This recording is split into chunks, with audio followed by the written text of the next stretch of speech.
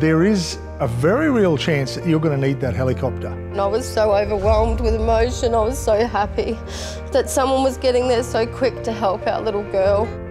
And the only way we're going to keep that helicopter flying is if people donate.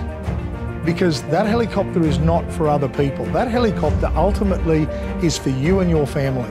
People need to donate.